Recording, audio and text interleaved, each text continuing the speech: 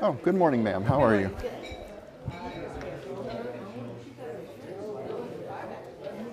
Just a start.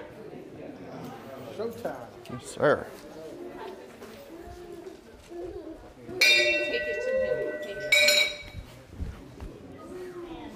Good morning.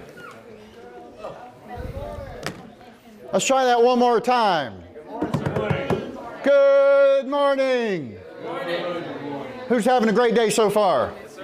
All right, welcome to Sunday school class. Now, we've been going through a series of what I'm calling spooky religions, and we're going to touch on a very interesting one today. Um, we're going to talk about nihilism. Who knows what nihilism is? Heard of it. Okay. Any guess at what that means? Who knows what? N- go ahead. Yes, sir. It's the philosophy that everything is just not worth anything and that it's all going to go to nothing. Go. It's the philosophy that everything is pretty much worth nothing and it's all going to go to nothing, right? To paraphrase Brother Ross. And that's about right. Nihil means nothing. Uh, there's a phrase within Christianity now. It's called uh, annihilationism. Annihilationism. And what's it based on? Well, it's based on pagan philosophy that nothing matters, it's all pointless. Now, nihilism is closely related to uh, predestination, as Calvinists would teach it, in the sense of uh, it's also called fatalism. You have no choice. There is no free will. We're not going to talk about those two sides of it today. What we are going to talk about is the fact that at the end, there is something, right? Now, this time of year, uh, earlier in the month, I preached against Halloween. Yes, I preached against that sacred cow, okay? Uh, the Halloween is not a Christian holiday. There's nothing good or godly about it. I didn't go too far into it, but the origins of it are, are actually satanic. They were pagans that would come by and trouble the Christians and do the trick or treat. Give us one of your children, or we're going to burn your whole house down. Or they would take somebody and make them bob for apples in boiling water, and hopefully they lived through it without losing their eyeballs.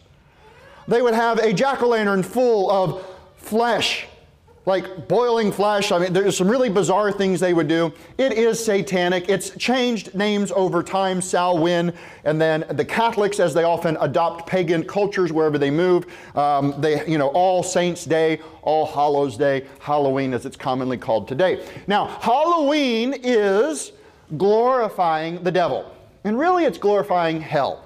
All of you probably noticed this house down the road here.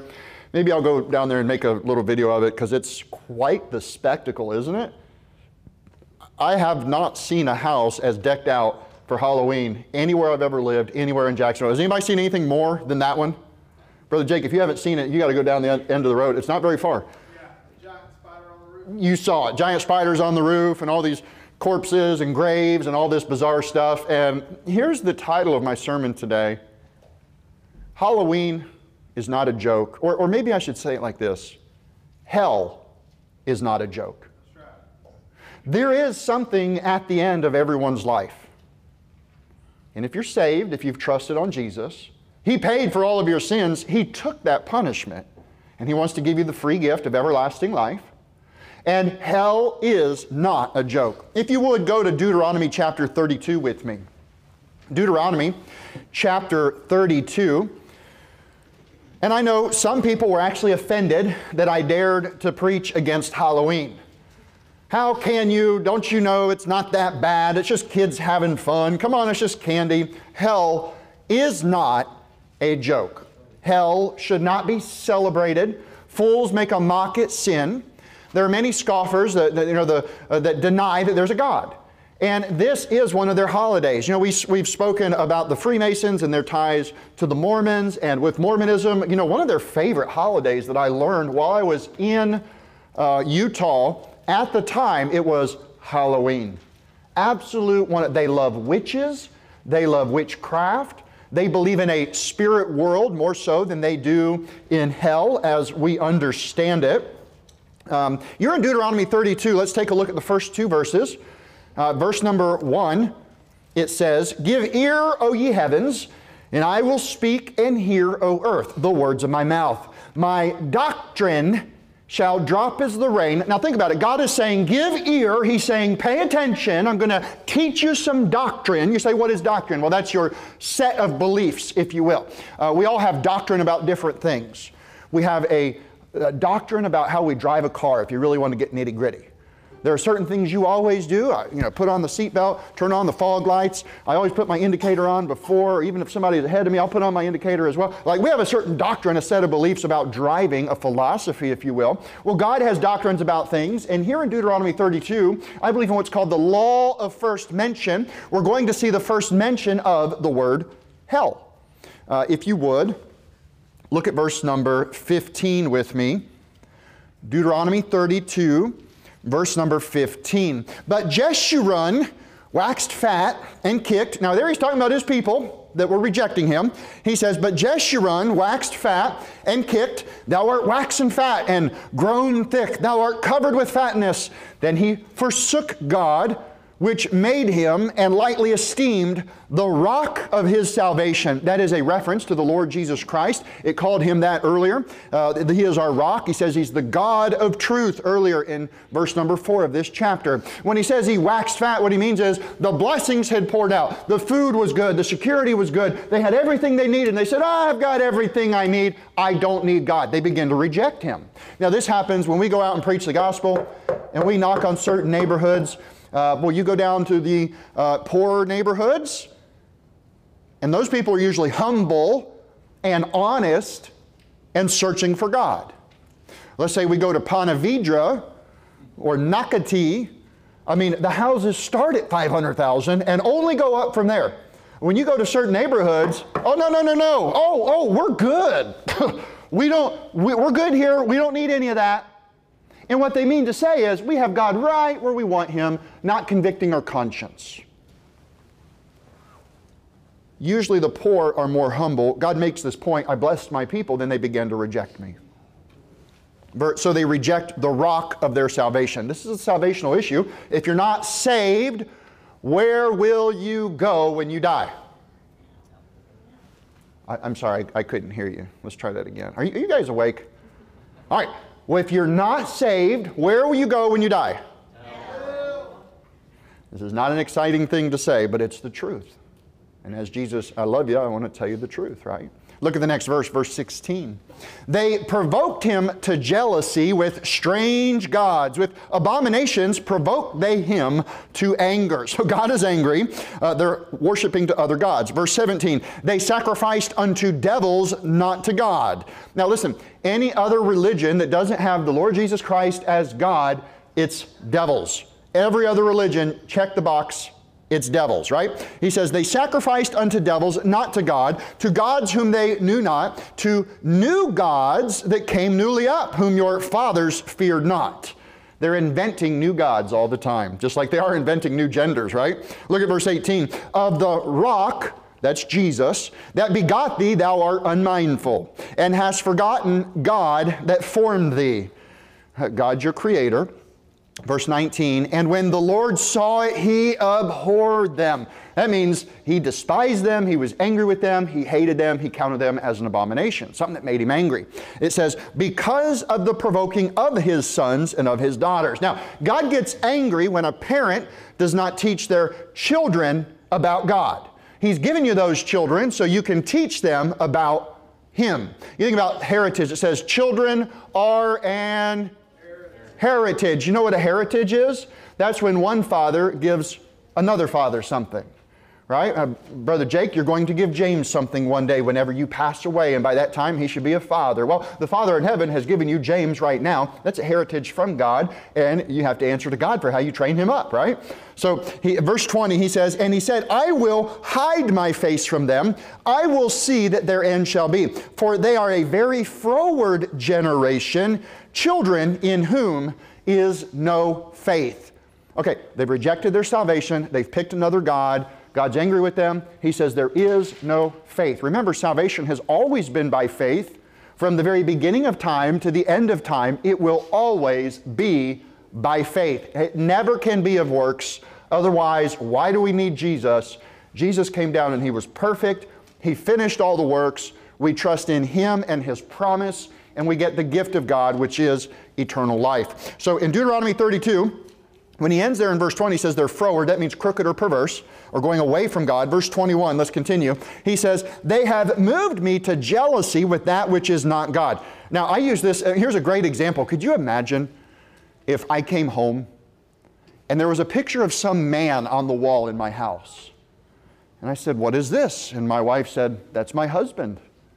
And I said, Excuse me, Mrs. Fannin, I'm your husband. And she says, No, no, no, I like this husband better. I'll call him now, he's my husband.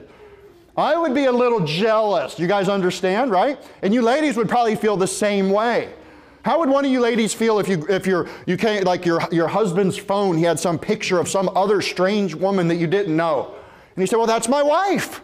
You'd say, "Excuse me, I'm your wife," right? Now, how do you think God felt? When there was a generation that knew the Lord, they had the oracles of God, the scriptures, they were taught of God, and then they said, Nope, we've got a new God. We're going to go worship Moloch, Baal, Ashtaroth. How do you think God felt? Do you think he was upset? Now, he is jealous for us. And listen, hell is not a joke. Look at the next verse.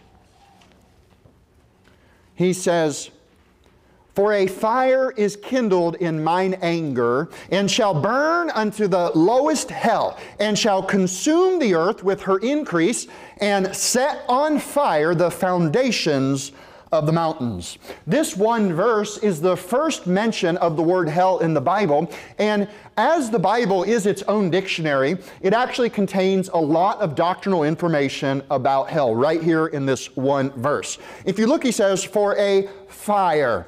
Hell is fire, it's burning, it's literal fiery punishment.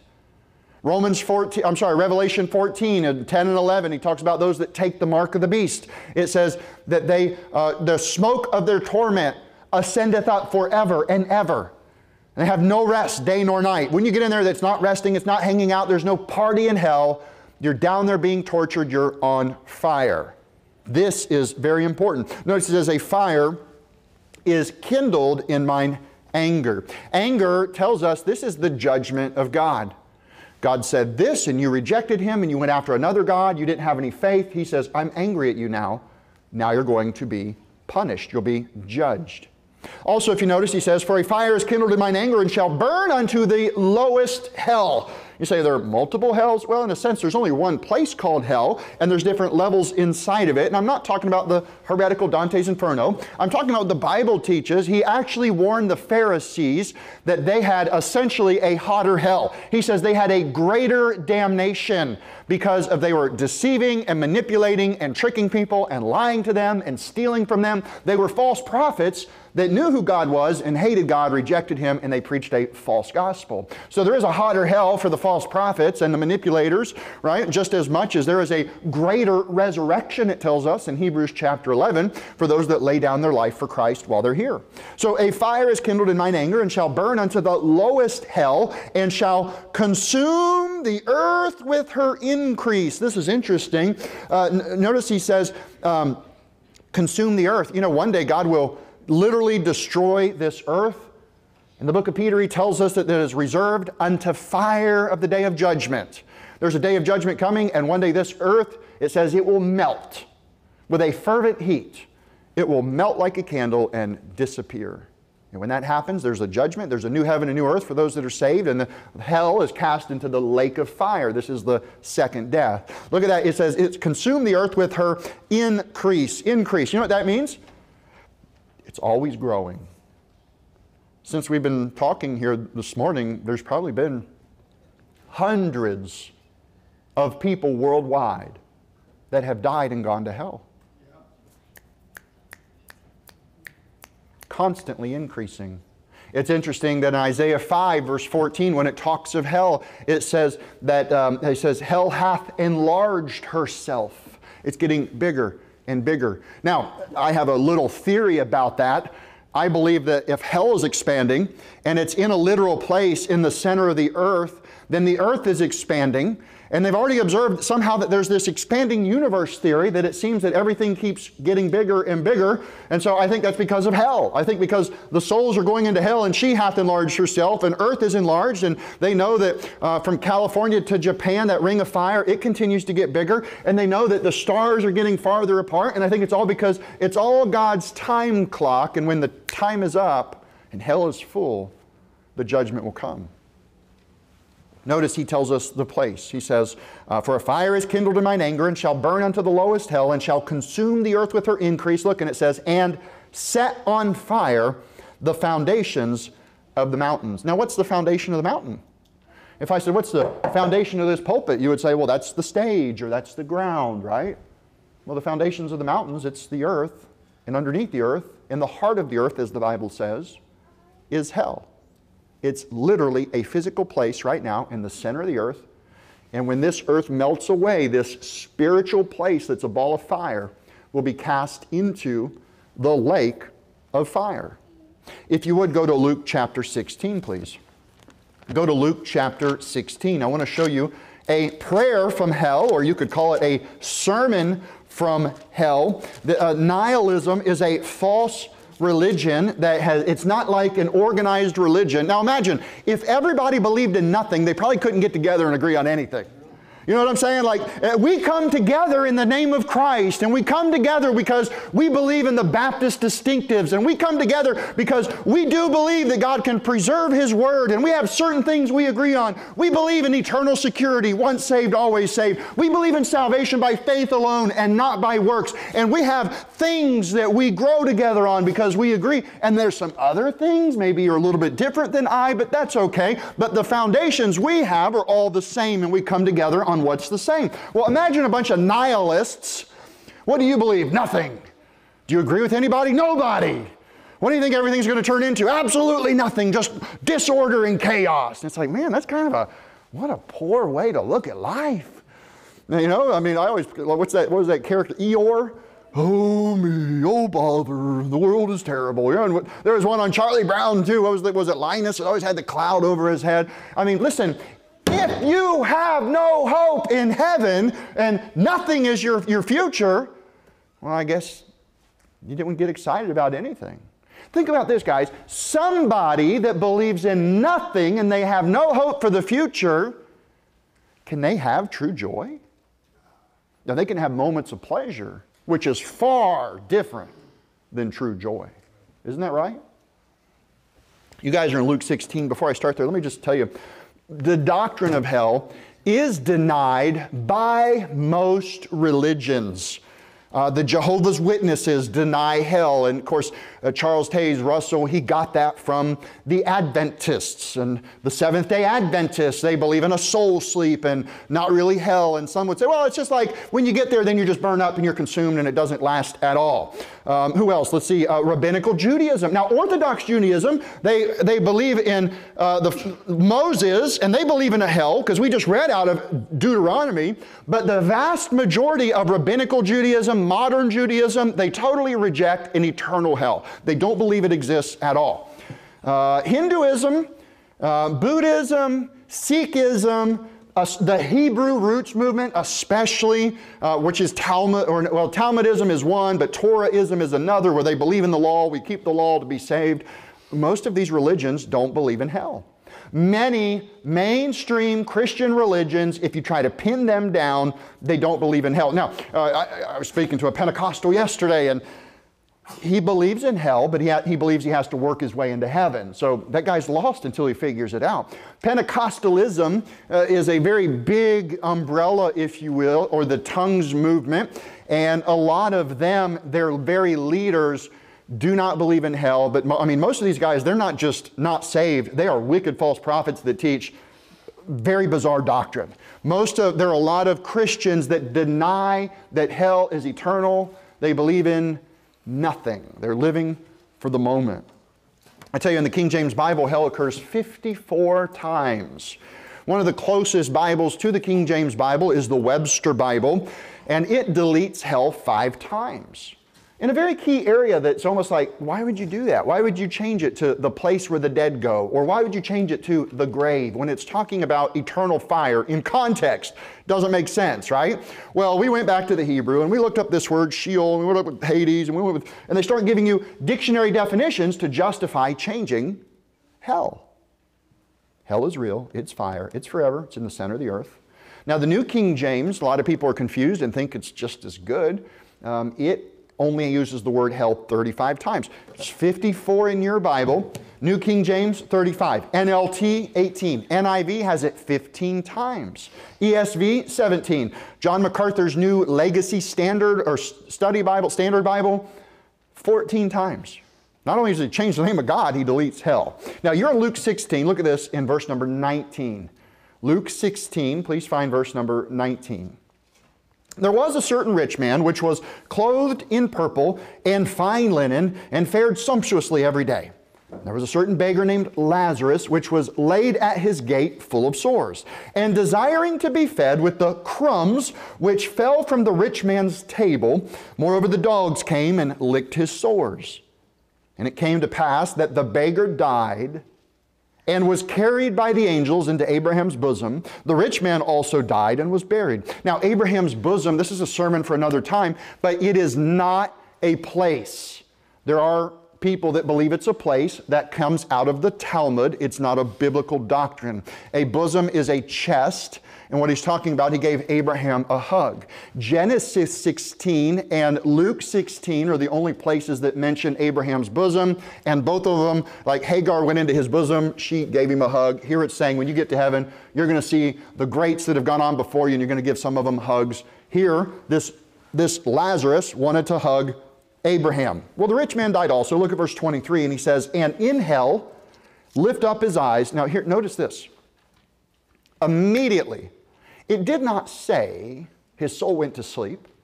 It did not say a thousand years passed and then he ended up in hell. No, no. When you depart from this body, when you're absent from the body, you're either present with the Lord or, as in Luke 16 23, in hell, you lift up your eyes being in torment. It was immediate. He goes to hell, he suffers immediately. Verse 23 And in hell he lift up his eyes, being in torments, and seeing Abraham afar off, and Lazarus in his bosom. And he cried and said, Father Abraham, have mercy on me and send Lazarus that he may dip the tip of his finger in water and cool my tongue, for I am tormented in this flame. Here we have the same characteristics. It's down there, it's hot, it's torture, and there's no water, there's no pleasure. Now, I have a, a hell handout. If I could get a couple young men, if I could get a couple young men to share that, please. I want you to look at this handout because, again, this doctrine of hell is under attack. It's real. We're not going to go through the whole handout now. It's something for you to take home and study for yourself and be fully persuaded on your own. If you need some strengthening verses, here's a Bible study for you, okay? Um, he says, Have mercy on me, send Lazarus. So now here's the poor guy that just begged at his gate, and he says, Can you, I know that guy.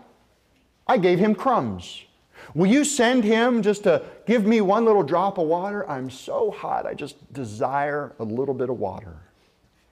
What an interesting statement, how terrible hell must be. If dead men could speak, what would they say? Well, this rich man, as he's in hell, is saying, Please give me some water. Please have some mercy on me. In hell, he lift up his eyes. He's crying, Have mercy on me. I am tormented in this flame. This is the sermon from hell. Don't come here, he's saying. Oh, it's hot. Oh, I am tormented. On this handout that you have, the biblical doctrine of hell. Who? It's unsaved people. What?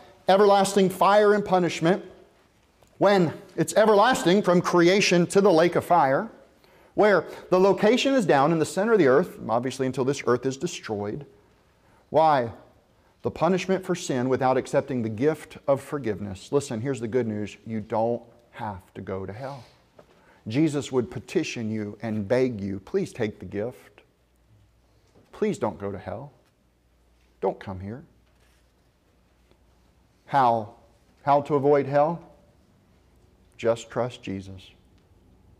You know, He paid for all your sins, it's complete.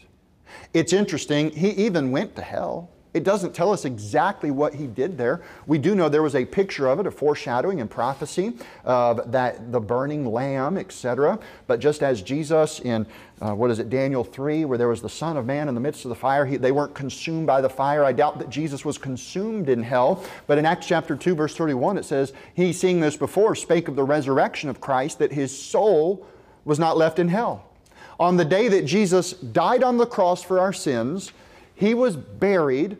For three days, he's in the grave. It tells us that he went down to hell. He says he went to the heart of the earth. He says it was the sign of Jonah. There's all these indications he went to hell. He, can, he comes up victorious. In Revelation, it says he has the keys of death and of hell. You don't have to go there. He can lock that door so you never have to walk through it, just as much as he can open the door to salvation.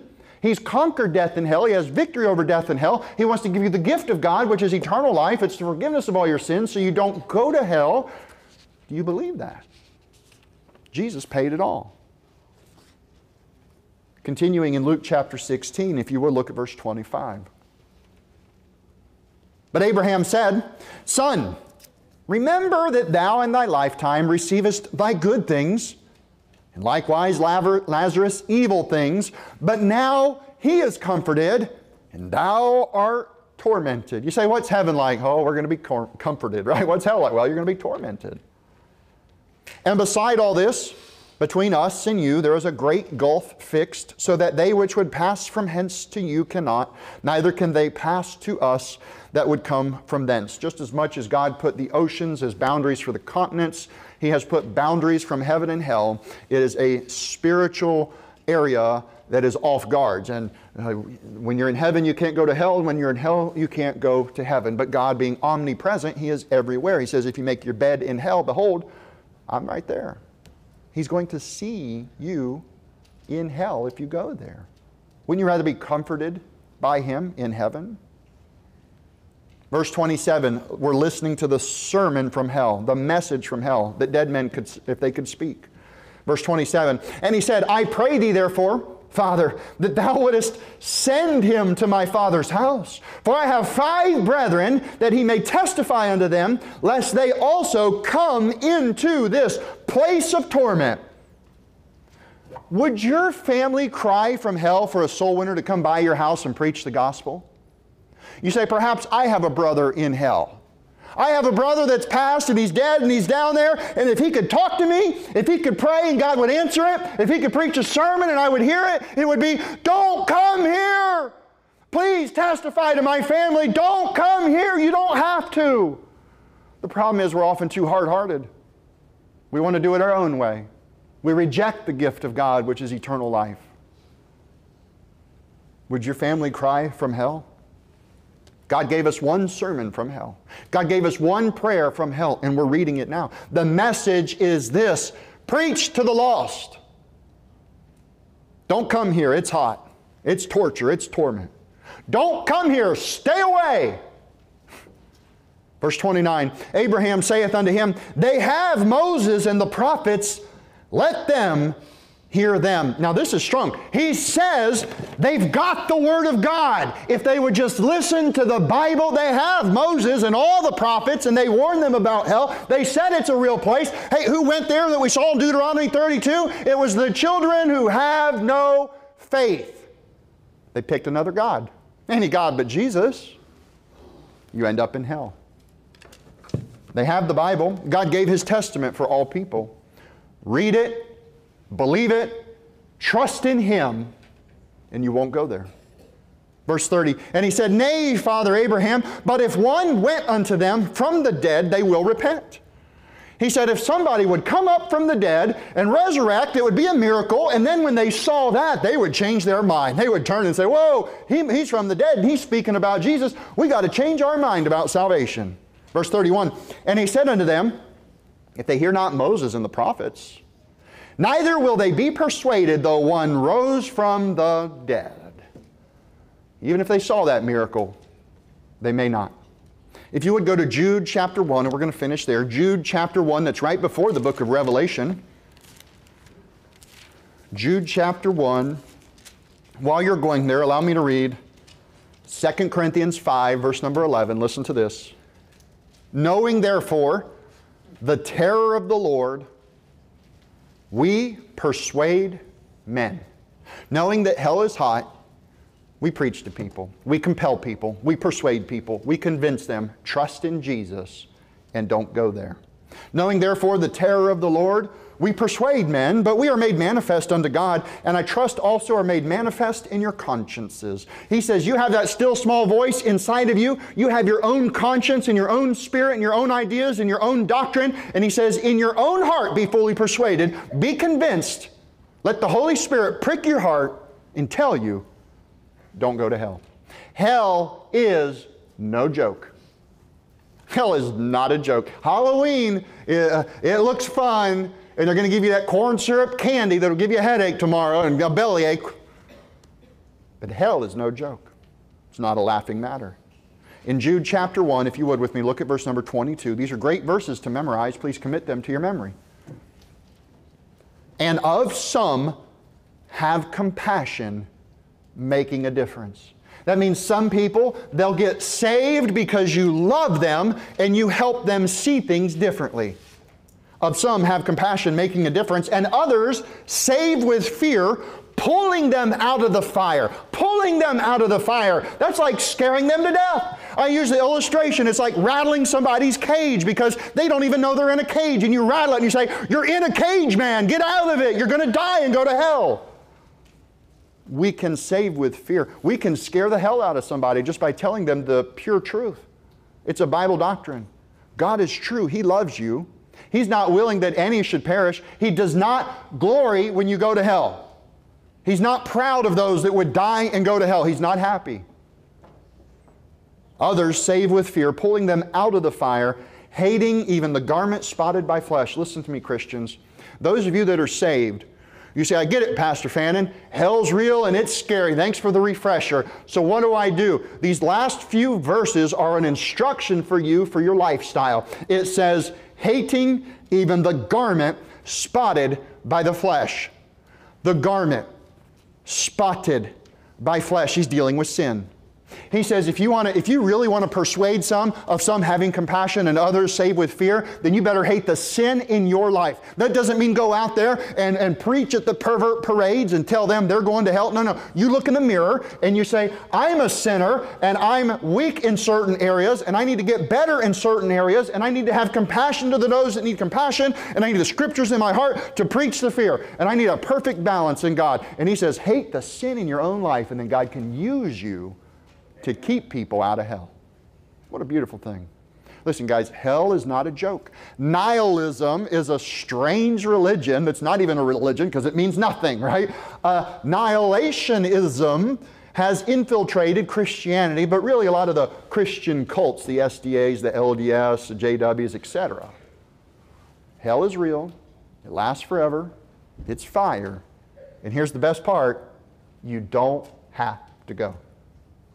God loves you so much, He paid for it all. Won't you take the gift?